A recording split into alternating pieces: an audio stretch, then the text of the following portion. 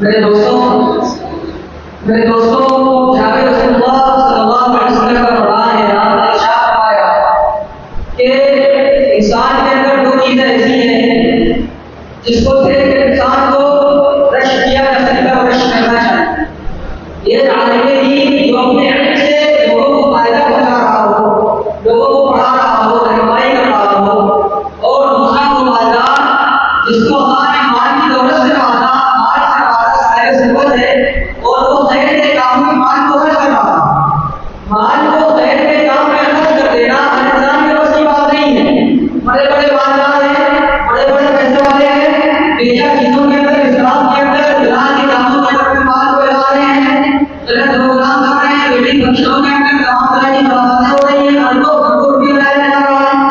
你妈。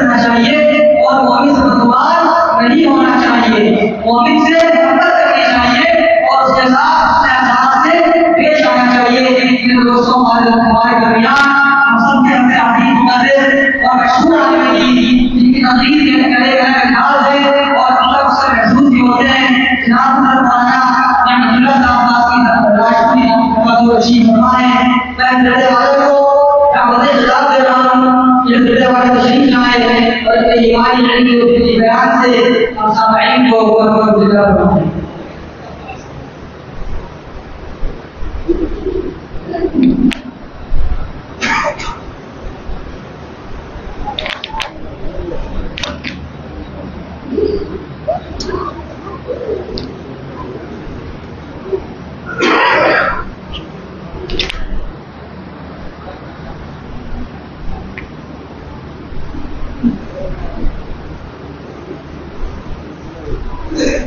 بسم اللہ الرحمن الرحیم نحمده ونصلي ونسلم على رسوله الكريم اما بعد۔ اعوذ باللہ من الشیطان الرجیم، بسم اللہ الرحمن الرحیم۔ یا عبادی الذین اسرفوا على انفسهم لا تقنطوا من رحمت اللہ۔ ان اللہ یغفر الذنوب جميعا. انه هو الغفور الرحیم صدق اللہ العلی العظیم و صدق رسوله النبی الامین المکین المتین الکریم ونحن على ذلك لمن الشاهدين والشاكرين. والحمد لله رب العالمين. درود پاک پڑھ لیں اللہم صلی علی سیدنا و نبینا و مولانا محمد و علی آل سیدنا و نبینا و مولانا محمد و بارک وسلم۔ یا ربی صلی وسلم دائما ابدا علی حبیبی کا خیر الخلق کلیم نعت پاک کی چند اشعار پیش خدمت ہیں۔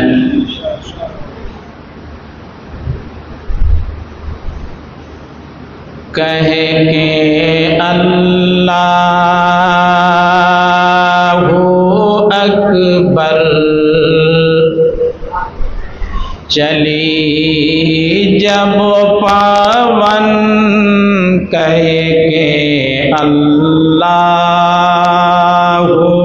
اکبر۔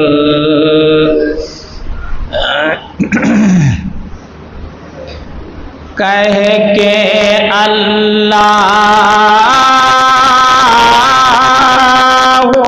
اکبر چلی جب پاون پھر زمانے میں گونجے خدا کے بھجن پھر زمانے میں گونجے خدا کے بھجن اے حبیب خدا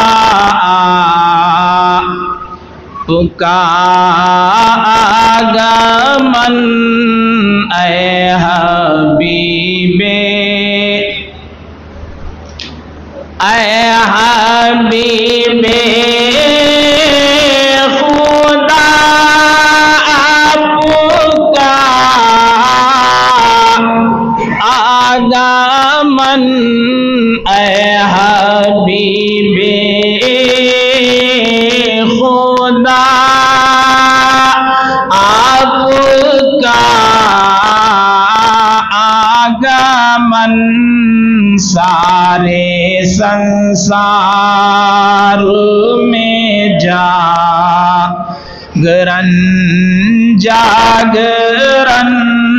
سارے سنسار میں جا۔ میرے سرکار میرا پر جب گئے میرے سرکار۔ پر جب گئے ساتو آکاش نے ان کے چو میں چرن ساتو آکاش نے ان کے چو چرن کہہ کے اللہ اکبر چلی جب پھر زمانے میں گونجے خدا کے بھجن آپ کے جان ساروں کی کیا بات ہے؟ آپ کے جان آپ کے جان ساروں کی کیا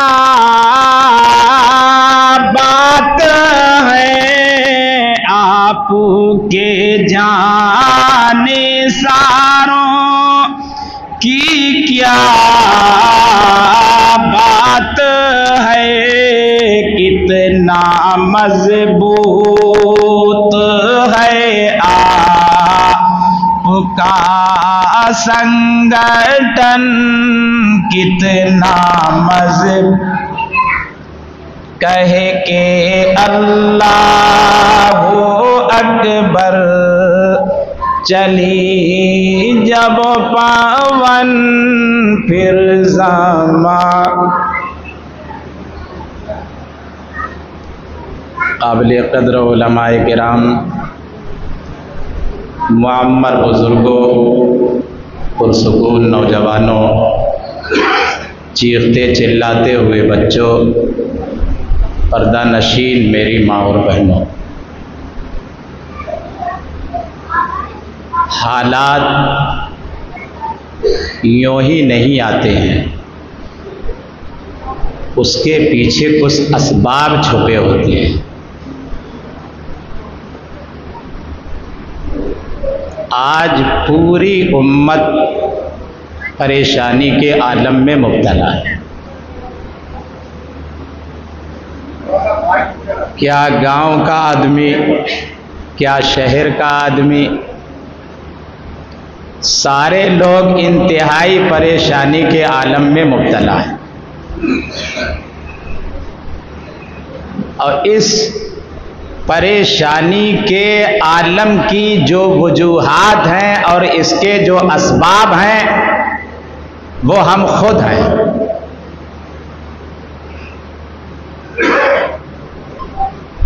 کیا واقعی اتنے لوگ یہاں تشریف فرما ہے؟ علماء بھی ہیں، غیر علماء بھی ہیں، حفاظ بھی ہیں۔ ایک آدمی کھڑے ہو کر کے یہ بات کہہ سکتا ہے کہ جس طرح کا مسلمان اللہ اور اس کے رسول کو مطلوب ہے، اس طرح کے مسلمان ہیں ہم۔ جس طرح کا مسلمان اللہ دیکھنا چاہتا ہے اور جس طرح کا مسلمان اللہ کے پیارے لاڈلے نبی حضرت محمد الرسول اللہ صلی اللہ تعالی علیہ وسلم دیکھنا چاہتے ہیں، کیا ہم اور آپ ہیں؟ اگر نہیں ہے تو کیوں نہیں؟ اور ہوں گے تو کس دن؟ ہمیں اپنے زندگی کے طرز کو بدلنا ہوگا۔ اگر حالات کو مناسب بنانا چاہتے ہیں، حالات کو سازگار بنانا چاہتے ہیں، تو ہمارا فرض منصبی ہے کہ ہم اپنی زندگی کے طرز کو تبدیل کریں۔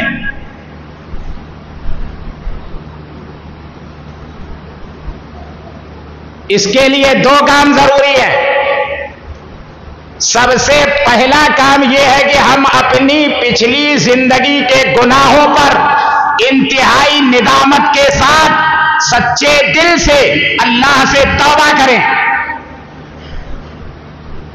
اور آئندہ کے لیے اپنی زندگی کے رخ کو بدلیں۔ اسلام اس لیے دنیا میں تھوڑی آیا تھا کہ اسلام قبول کر لینے کے بعد ہماری گردنیں دوسرے کی مٹھی میں رہیں۔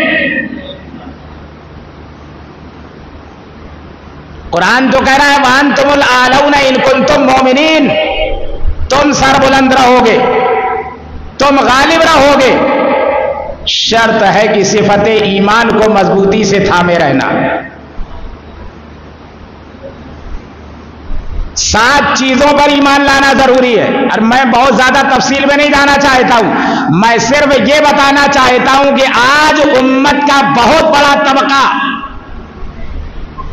پریشانی کے عالم میں مبتلا ہے، کسی نہ کسی لائن سے، کسی نہ کسی لائن سے، کسی نہ کسی لائن سے۔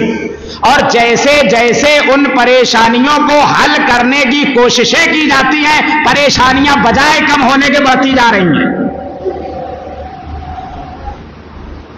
ایک دور وہ تھا جبکہ مسلمانوں کو ظلم و ستم کا نشانہ بنایا جا رہا تھا۔ اسلام لانے کے نتیجے میں تیرہ سالہ مکی زندگی صحابہ کی ایسی گزری ہے کہ اسلام لانے کے جرم میں کسی کو پھانسی کے پھندے پہ لٹکایا جا رہا تھا، کسی کی آنکھیں پھوڑی جا رہی تھی کسی کا چمڑا ادھیڑا جا رہا تھا، کسی کی پسلیاں توڑی جا رہی تھی، کسی کو برہنا کر کے گھر سے نکالا جا رہا تھا۔ لیکن ایک نام نہیں ملتا تاریخ اسلام میں۔ کہ کسی نے مصیبتوں سے دو چار ہو کر اسلام کو چھوڑ دیا ہو۔ کہ جس اسلام کے نتیجے میں یہ پریشانیاں اور یہ مصیبتیں آئی ہوئی ہے کیوں نہ اس اسلام کو چھوڑ دیا جائے اور اپنے آپ کو پریشانیوں سے بچا لیا جائے۔ آج سائنسی دور میں بھی کسی میں یہ طاقت نہیں ہے کہ مردے کو زندہ کر دے۔ اور ہمیں صحابہ کے حالات زندگی میں ایسے واقعات بھی ملتے ہیں۔ علماء گرام تشریف فرمائے، میری اصلاح فرمائے۔ ام صاحب ایک عورت ہیں۔ چھوٹا سا بچہ ہے، انتقال کر گیا۔ ام صاحب گھر میں نہیں ہے اللہ کے پیارے نبی، امام الانبیاء، محبوب کبریا، حضرت محمد الرسول اللہ صلی اللہ تعالی علیہ وسلم تشریف لائے۔ آپ نے فرمایا، نہلاؤ، دھلاؤ، کفن پہناؤ، اور اس کی ماں کو تو خبر کر دو۔ ماں کو اپنی اولاد سے کتنی محبت ہوتی ہے؟ وہ ماں جانتی ہے اور اولاد کو اپنی ماں سے کتنی محبت ہوتی ہے وہ اولاد جانتی ہے اس کو الفاظ کے پیمانے پر تولا نہیں جا سکتا ہے۔ ام صاحب آئی۔ اور انہوں نے دو رکعت نماز پڑھی۔ اور اپنے دامن کو خدا کی بارگاہ میں پھیلایا۔ اور کہا کہ اے اللہ بھی چند دن ہوئے ہیں، میں نے کلمہ قبول کیا ہے۔ لوگ تانے دیں گے کہ جب تک تو نے ایک اللہ کو نہیں مانا تھا، تیرا بیٹا تیری زندگی میں موجود تھا۔ اور جس دن تو نے توحید کا اقرار کیا، اور جس دن تو نے اللہ کے نبی کی رسالت کا اقرار کیا، تیرا بچہ دنیا سے گیا۔ لوگ مجھے تانا دیں گے، الہی اس بچے کو کل میدان میں شرم تو زندہ کرے گا۔ لیکن اس وقت میرے کوئی کام نہیں آئے گا۔ میرے مالک مجھے دنیا والوں کے تانے سے بچا لے۔ تاریخ میں یہ بات لکھی ہے کہ کفن میں حرکت پیدا ہوئی۔ کفن میں حرکت پیدا ہوئی اور بچہ اٹھ کر کے بیٹھ گیا۔ اللہ کے نبی تشریف فرمائے، ام صاحب یہ بھی کہہ سکتی تھی، یا رسول اللہ، آپ دعا کر دیجیے۔ اب تو مسئلہ بہت آسان ہے۔ کسی مولوی سے ملاقات ہو جائے، مولانا ذرا دعا کرنا یار۔ طبیعت صحیح نہیں رہتی ہے اللہ سے و تندرستی عطا فرمائے۔ بہت کم لوگ ایسے ملتے ہیں جو یہ کہتے ہیں مولانا دعا کرنا، اللہ ایمان پہ خاتمہ فرما دے۔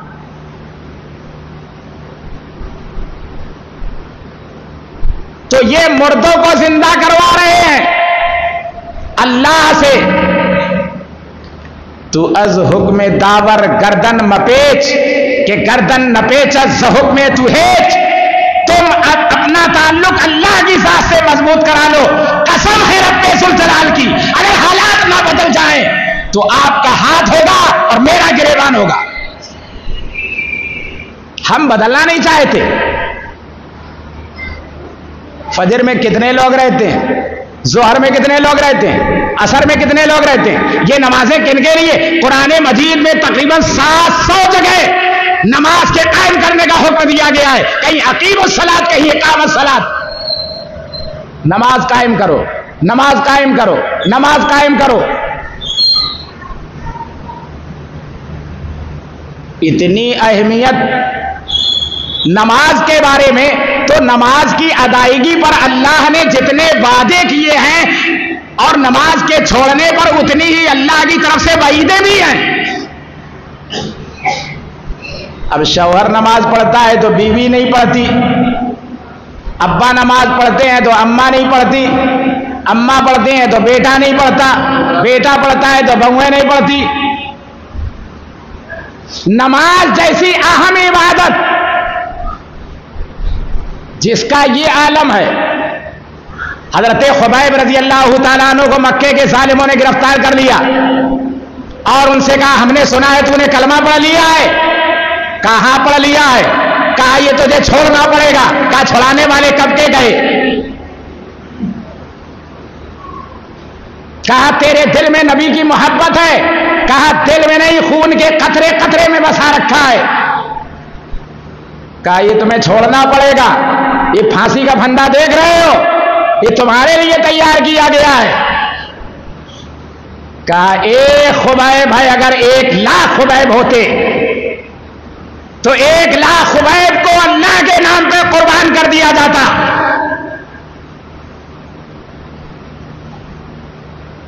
کہا یہ نہیں ہو سکتا، اسلام کا دامن چھوڑ دے، یہ ممکن نہیں ہے۔ توحید کا انکار کر دے، یہ ممکن نہیں ہے۔ اللہ کے محبوب کی محبت دل سے نکل جائے، یہ ممکن نہیں ہے۔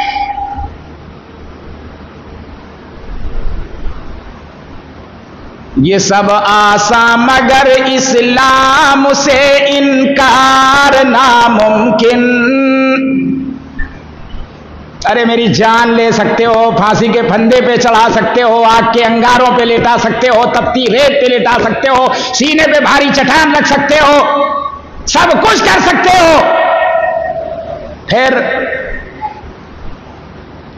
یہ سب آسان مگر اسلام سے انکار ناممکن ہمیشہ کے لیے ہو جاؤں میں فنار ناممکن ہمیشہ کے لیے ہو جاؤں میں فنار ناممکن نہ چھوڑوں گا کبھی میں احمد مختار کا دامن کہ دو جگ کا سہارا ہے خیال یار کا دامن کہ دو جگ کا سہارا ہے خیال یار کا دامن۔ کہا مجھے آخری دو رکعت نماز پڑھنے دو۔ انہیں معلوم ہے کہ ابھی چند منٹوں کے بعد پھانسی کے پھندے پہ مجھے چڑھایا جائے گا۔ اور یاد آئی تو کس کی آئی؟ کہ آخری وقت میں خدا کی بارگاہ میں اس پیشانی کو جھکا دیا جائے اور آخری وقت میں اللہ کی عظمت کے بول بولے جائے۔ سبحان ربی العلیٰ سبحان ربی العلیٰ سبحان ربی العلیٰ لوگوں نے کہا، پڑھ لو۔ نیت باندھی۔ اب میں تفصیل میں نہیں جانا چاہتا، میں تو صرف یہ بتانا چاہتا ہوں کہ نماز سے تعلق کتنا ہے ایمان والے کا؟ ثابت بنانی رحمت اللہ علیہ فرمایا فرمایا کرتے تھے، اے اللہ اگر کسی کو قبر کے اندر نماز پڑھنے کی اجازت ہو سکتی ہو تو مجھے بھی ہو جائے۔ اور جب ان کو دفن کیا گیا تو دفن کرنے والوں میں سے کسی کی دینار کی تھیلی قبر میں گر گئی، وہ خاموشی کے ساتھ قبر کھود کر کے اپنی تھیلی کو نکالنے گیا۔ تو وہاں منظر یہ دیکھا، ثابت بنانی رحمت اللہ نے اپنی قبر میں نماز پڑھ رہے ہیں۔ انہوں نے گھر میں آ کر کے پوچھا کہ ان کا کون سا ایسا خاص عمل تھا؟ کہا، وہ ہمیشہ یہ دعا کیا کرتے تھے کہ اے اللہ، قبر کے اندر اگر تو کسی کو نماز پڑھنے کی اجازت دیتا ہو تو ثابت بنانی کو بھی دے دے۔ تو اس لیے وہ نماز پڑھ رہے تھے۔ تو وہ قبر میں نماز پڑھ رہے تھے، ہم نے زندگی میں نماز چھوڑ دی۔ وہ پھانسی کے پھندے پہ لٹکنے سے پہلے دو رکعت نماز ادا کر رہے ہیں۔ خدا کی بارگاہ میں سر جھکا کر کے اللہ کی حمد و ثنا کر رہے ہیں۔ ہم نے خوشحالی کے عالم میں ہی نماز چھوڑ دی۔ دید کی گر تلاش ہے۔ سر کو جھکا نماز میں۔ دید کی گر تلاش ہے۔ سر کو جھکا نماز میں اور دید دل کو کھول کر لطف اٹھا نماز میں۔ اس سے پوچھو نماز میں کتنا مزہ آتا ہے جو نماز کا پابند ہے۔ تحجد میں کتنی لذت ہے، اس سے پوچھو جو تحجد کا پابند ہے۔ اشراق میں کیا لطف آتا ہے؟ اس سے پوچھو جو اشراق کا پابند ہے۔ اب نابالغ بلوک کی کیفیت کا اندازہ کیسے لگا سکتا ہے؟